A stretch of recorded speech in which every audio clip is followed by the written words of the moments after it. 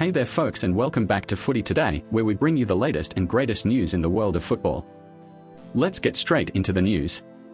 Manchester United are strongly reported to have made Thomas Tuchel their number one candidate to take over as manager this summer with the German receiving strong support from a former player and amid new claims the axe will fall on Erik Ten Hag.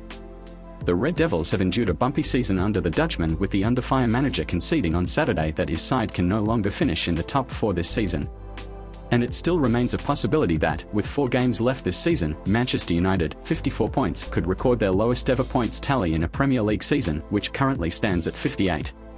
Storm clouds have been gathering over Ten Hag's future for pretty much most of the season, with the former Ajax manager, now into the second of an initial three-year deal, appearing to take the club backwards this season. And with Sir Jim Ratcliffe finalising his £1.3 billion purchase into 27.7% of the Glazers' shares in February, reports have grown that the British billionaire is ready to bring in his own man once the current campaign comes to an end. Those reports have only gathered pace in the last week after it emerged that Ratcliffe had instructed newly appointed technical director Jason Wilcox to complete a thorough audit of Ten Hag, deciding whether the club should stick or twist on the United manager but with some worrying statistics emerging on his reign that has seen them conceded 90 shots in three matches against Liverpool this season, together with the side's newfound issues in conceding late goals the signs are not looking good.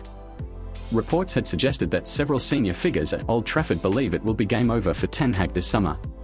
And maybe the writing was truly put on the wall this week with United struggling to record a win over relegation-bound Sheffield United, before then being held to a draw by another struggler in Burnley.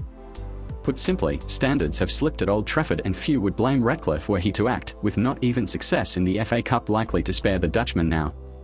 Now a report from Football Insider claims the Ineos chief has decided to move on from Ten Hag this summer, with club chiefs doing their due diligence behind the scenes over who could be their next manager. And while the likes of Roberto De Zerbi and Gareth Southgate both have admirers within Old Trafford this summer, appointing either manager comes with its own problems, with questions raised over De Zerbi's temperament and with Southgate unavailable until after England's European Championships campaign has come to an end this summer. That, however, is not the case with Tuchel, who will become a free agent once Bayern's campaign comes to an end. While they have conceded the Bundesliga title, they are this week preparing for the Champions League semi-finals against Real Madrid. Tuchel is a one-time winner and two-time finalists having won the competition with Chelsea and having steered PSG to within a whisker of success. As a result, it's not expected United will make an official move for the 50-year-old until their interest in the competition has ended. However, it's believed they have registered their interest in him with his people ahead of any formal notice handed to Ten Hag. With Tuchel now emerging as favourite to take over this summer, his credentials for the role have been talked up by legendary former United goalkeeper Peter Schmeichel, who believes the German would be a top choice to take the Red Devils forward. I like Thomas Tuchel. I've had the pleasure of interviewing him a couple of times and his football knowledge is fantastic, Schmeichel told beIN Sports amid the speculation. He's been a little bit unlucky with being at two big football clubs at the wrong time of their history, at times where things weren't working on every level. It's not that he didn't do well at Chelsea, for instance. I mean, he won the Champions League, didn't he? I just like him, there's something about him. He projects an authority. Never compare people, but he's got the same kind of thing that Klopp has. You know he's the boss and you know what he's doing.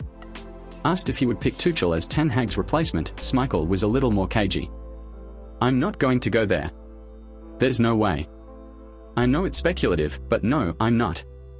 Pressed for an answer by host Richard Keys, the Dane responded, if Manchester United were in the market for a manager then he should be somebody mentioned in that respect. He should be.